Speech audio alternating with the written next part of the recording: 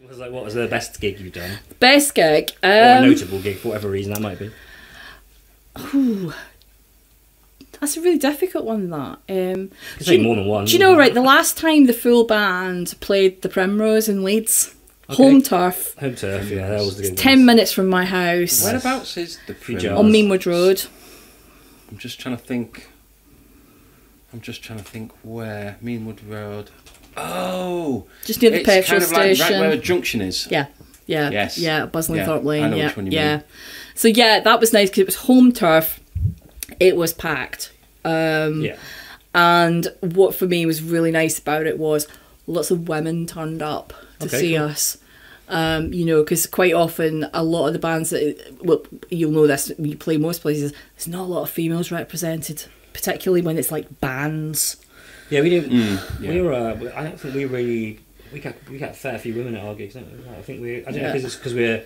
I get acoustic and they don't know what to get. Yeah. We tend to get fair I don't know if it's our good looks and anything. I think it might No, I mean, be. on the stage, talent. I'm- to be honest, to be honest, Yeah. it could be our good looks and charm. I Yeah, think that's the yeah. I think we found the answer. Yeah, but I think on. it's you know it's like you know there's not you know, Yeah, I know what you I, mean. have I've been to like whole days of bands and there's not been a single woman set foot on the I think- stage. I think that kind of, especially like in the punk scene, because it's a, got that more um, dangerous vibe to Mm, it, just purely by whether that's true or not, just purely by association with the word punk. Mm, Like whether you can, you know, argue whether that's uh, justified or not. But um, I mean, I would probably say not, and it's probably driven massively by the media. But Yeah. re- regardless, Yeah. it still is there. Yeah. So you get like you know. Uh, uh, loud bands in dark rooms, you know, women don't feel, I, I would Yeah. imagine, absurdly safe based on reputation alone. It doesn't have to be anything to Yeah. do with the people there. It's just, And it's it's also about location of venues and uh, safety of getting home, things Sure, like yeah, that yeah, as well. And I, I find this as well, like um, with a lot of young women musicians and stuff as well. That I think that that can prevent them from getting on further as well because you get up and you do a performance, suddenly people think they own you. And they can give you a lot of grief, yeah, you know. like you're on stage, you belong to them. Yeah, you know, and it's like, and you can be pestered and stuff. You know, I'm fortunate. I'm a lot older. I've got my own car. You know, I can.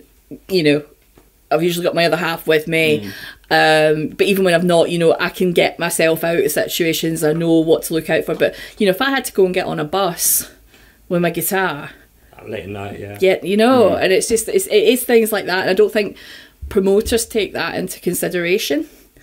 Um, you know, and it's like I've started recently doing doing some promotion stuff. You know, and one of the things that I you know I do want to really sort of like focus on is if you worked in a bar, a lot of bars get ta- make sure taxis are available for staff, things like that. You know, and it's just like how are people getting home yeah.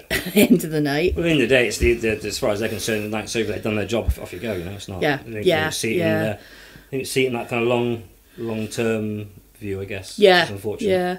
But yeah, being being in the Premi on home ground, it was a really really good gig. Um, and we just recently had a, a, a new guitarist playing with us, and it was just like it was just a really nice lively gig where we really got into it, you know, and it was it was nice. So Fulford Arms was was was great as well. Um, um, so, but just recently, I'm, I'm focusing on some solo stuff again, um, and I've got a really big gig this week. I'm playing the big festival down in Oh, the yeah, I Cotswolds. I Yeah, that, yeah. yeah, yeah. Yeah, so uh shitting myself. Well, think of it. Consider it. Consider it as a warm up for centre stage. Yeah, right. Big festival, Yeah. tiny bar. actually, I tell I tell you actually in terms of really nice gigs. Um, just recently, uh, a couple of weeks ago, I played up in Barnard Castle, um, at the Witham Summer Festival, All right.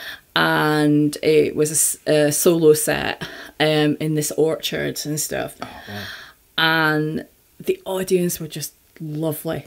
They were absolutely fantastic. They really appreciated the music. So they they they actually listen. Yeah, so much so that they've booked me to actually play the theatre in February. So they've actually they've got they've got enough faith in that I'm going to fill out a 250 seater theatre. So you know, so hence that's why Joanna, you need to come over from Portugal. Um, you know, so so that was really really nice. And then last weekend I was played the FEVA Festival in Knaresborough, uh, the picnic in the park, um, and that was nice. There was a few hundred there. Um, and that was like a proper big stage, you know, and stuff. And it was just like, it, it, it was just really nice, you know. It's like, I've never been, you know, those big inflatable dome stages. I was like, ooh, this is a tent.